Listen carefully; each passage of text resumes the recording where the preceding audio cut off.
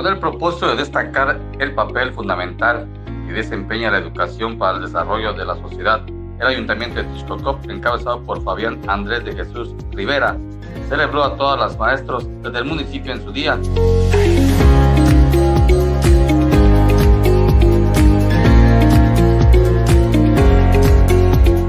reconocimientos a los docentes para su ardua labor. Al final felicitó a los maestros agradeció el trabajo que desempeñan cada día en la educación de los niños y los jóvenes del municipio.